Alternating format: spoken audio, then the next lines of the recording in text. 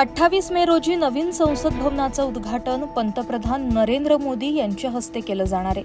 मात्र या सोहळ्यापूर्वीच नवा वाद निर्माण झाल्याचं पाहायला मिळतंय. संसद भवनाचं उद्घाटन राष्ट्रपती द्रौपदी मुर्मू यांनी करावं अशी आग्रही मागणी विरोधकांनी केली आहे. तसंच या कार्यक्रमाला राष्ट्रपतींना निमंत्रण न दिल्यावरून तीव्र नाराजी व्यक्त करत वीस पक्षांनी या सोहळ्यावर बहिष्कार घातलाय.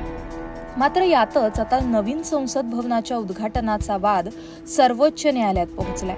या प्रकरणी एक जनहित याचिका दाखल करण्यात आली आहे. वकील सी आर जया सुकीन यांनी सदर जनहित याचिका दाखल केली आहे. सर्वोच्च न्यायालयात दाखल करण्यात आलेल्या याचिकेत राष्ट्रपतींच्या हस्ते नवीन संसदेचं उद्घाटन करण्यासाठी लोकसभा सचिवालय आणि भारत सरकारला निर्देश द्यावेत अशी मागणी करण्यात आली आहे. संसद ही देशाची सर्वोच्च संस्था आहे.